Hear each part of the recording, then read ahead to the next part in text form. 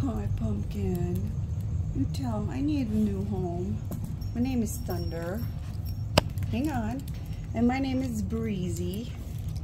We just need a new place to go because Mom's going to throw us out. Yeah. Mom's going to throw us out and make us go out in the big, big world. Such cute babies. Look at those little faces. Look at those little full tummies over there. Yeah. Good, good babies.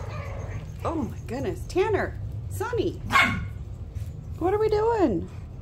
Don't attack him and steal his bone. Cody, are you getting beat up? Are they taking your stuff? Hey. Oh. Enough. That's enough. Babies. Quiet.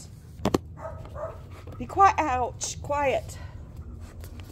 I buckled my knee. Oh, no.